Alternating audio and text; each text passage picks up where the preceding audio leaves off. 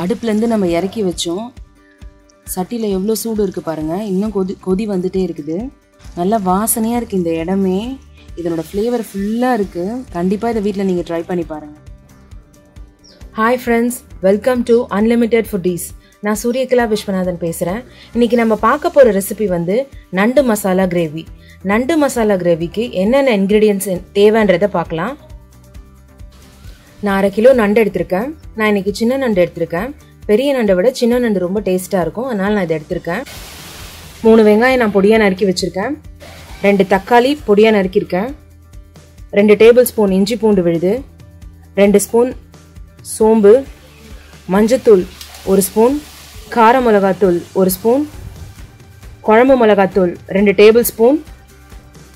உப்பு தேவையான அளவுக்கு ரெண்டு பச்சை மிளகா கருவேப்பிலை கொத்து ரெண்டு. கொத்தமல்லி தேவையான அளவுக்கு. அரை மொழி தேங்காய் திருவி எடுத்து வச்சுருக்கிறேன். ஒரு ஸ்பூன் பொட்டுக்கடலை இதை ரெண்டுத்தையும் நல்லா மிக்சியில் விழுதாக அரைச்சி எடுத்துக்கணும் நம்ம. வாங்க நம்ம நண்டு மசாலா கிரேவி எப்படி பண்ணுறதுன்றதை பார்ப்போம். இப்போ நம்ம அடுப்பில் மண் சட்டி வானல் வச்சுக்கலாம்.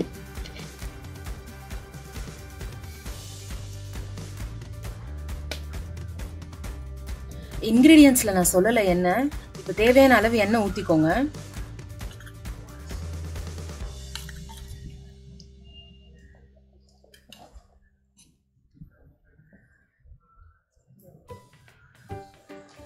எண்ணெய் கொச்சிருச்சு இப்போ நம்ம பெருஞ்சீரகம் சேர்த்துக்கலாம்.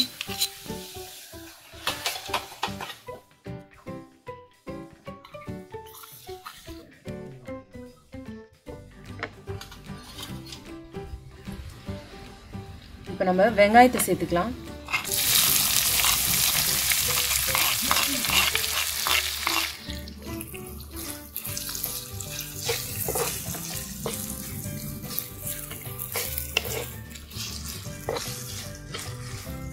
கொஞ்சம் பொன்னிறமாக வர வரைக்கும் வதக்கி விடணும் நம்ம நல்லா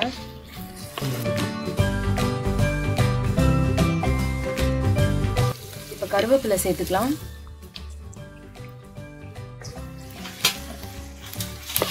ரெண்டு ரெண்டு பச்சை மிளகாவும் சேர்த்துக்கலாம்.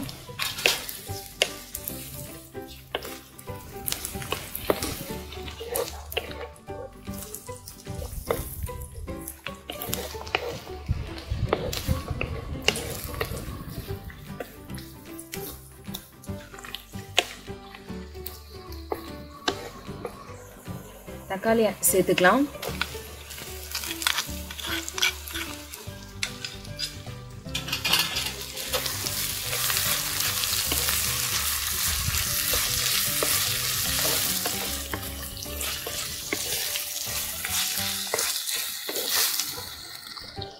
இந்த தக்காளி வதங்கிறது கொஞ்சம் உப்பு சேர்த்துக்கலாம்.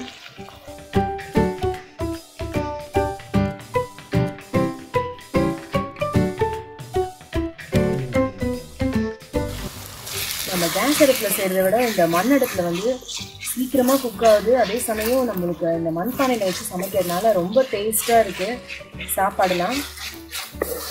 இது நீங்களும் உங்கள் வீட்டில் இருந்ததுன்னா கண்டிப்பாக ட்ரை பண்ணி பாருங்கள் அடுத்தது இப்போ இஞ்சி பூண்டு சேர்த்துக்கலாம்.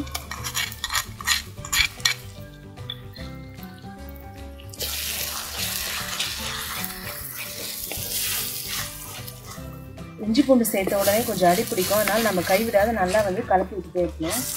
நல்லா வதக்கணும் இதை.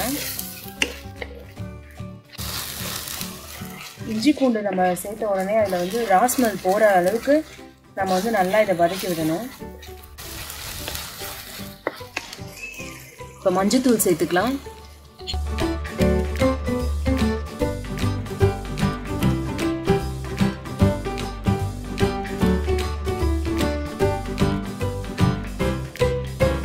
இப்போ காரத்தூள் சேர்த்துக்கிறேன். கார மிளகாத்தூள் சேர்த்துட்டோம் நம்ம. இப்போ வந்து குழம்பு மிளகாத்தூள் சேர்க்குறோம்.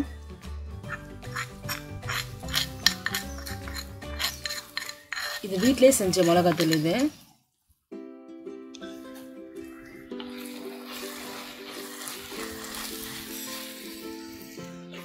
இந்த எண்ணெயிலே இந்த மிளகாத்தூளை நம்ம நல்லா வதக்கிட்டு அந்த ராஸ்மல் போன பிறகு நம்ம இதில் தண்ணி சேர்த்துக்கலாம். இப்போ நம்ம தண்ணி சேர்த்துக்கலாம்.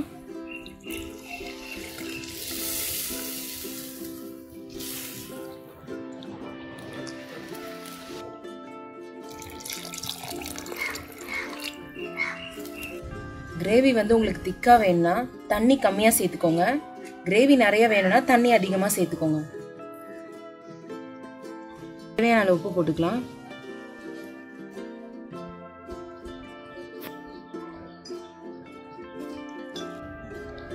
இது நல்லா வந்து கொதி வரட்டும்.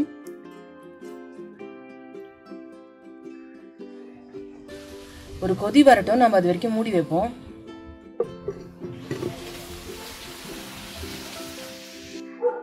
இப்போ திறந்து பார்க்கலாம். இப்போ நம்ம வந்து நண்டை சேர்த்துக்கலாம்.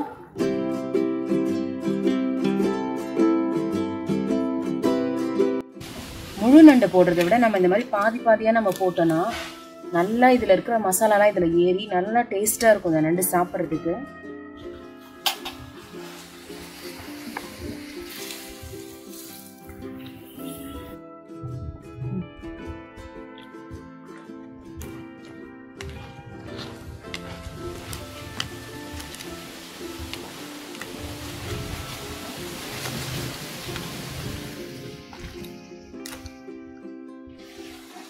இது அப்படியே நல்லா குக் ஆகட்டும். அதுக்கப்புறமா நம்ம அரைச்சி வச்ச விழுத சேர்த்துக்கலாம். நான் இதில் வந்து அதிகமான இன்க்ரீடியன்ஸ் எதுவுமே ரொம்ப சேர்க்கல. பேசிக்காக நம்ம எப்படி செய்வோம் அந்த மாதிரி தான் சேர்த்துருக்கேன். இதுவே ரொம்ப டேஸ்டியாக இருக்கும். நீங்கள் இந்த மாதிரி செஞ்சு பாருங்கள் ரொம்ப டேஸ்ட்டாக இருக்கும். குழந்தைங்களுக்குலாம் கொடுத்தா ரொம்ப நல்லது. ஆனால் கொடுக்குள்ள நல்லா ஜாக்கிரதையாக கொடுக்கணும் நம்ம. ஓடெல்லாம் போ- ஓடெல்லாம் எடுத்துட்டு குழந்தைங்களுக்கு கொடுக்கணும். இப்போ நம்ம அரைச்சி வச்ச தேங்காய் பொட்டுக்கல்ல விழுது நம்ம சேர்த்துக்கலாம்.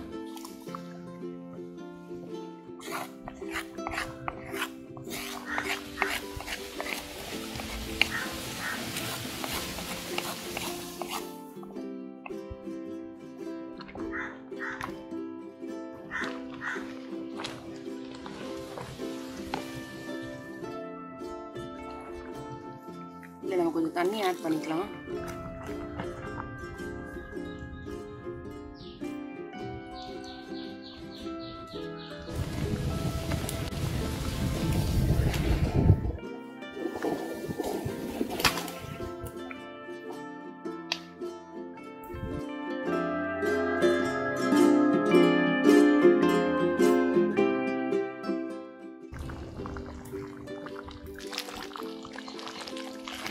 இது நல்லா கொதிச்சிருச்சு. இது நல்லா திக்கான கன்சிஸ்டன்சிக்கு இன்னும் ஒரு அஞ்சு நிமிஷம் வெயிட் பண்ணால் வந்துடும் நமக்கு நம்ம விருப்பம் வந்து நம்ம திக்காக வேணும்னா இன்னும் கொஞ்சம் நேரம் வச்சு எடுத்துக்கலாம். இல்லை இந்த பதமே போதுனா கூட நிறுத்திக்கலாம்.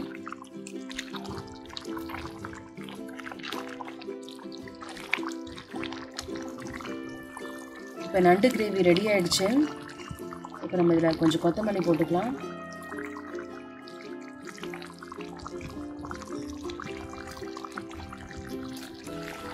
இப்போ நம்ம ரெண்டு கருவேப்பிலை கொத்து போட்டு இறக்கிடலாம்.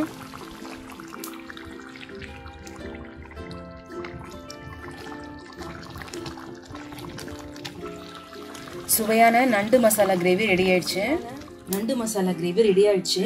இந்த ரெசிபியை ட்ரை பண்ணி பார்த்து கமெண்ட் பண்ணுங்க லைக் பண்ணுங்க ஷேர் பண்ணுங்க. நம்ம அன்லிமிட்டெட் ஃபுட்டிஸ்க்கு சப்ஸ்கிரைப் பண்ணுங்க.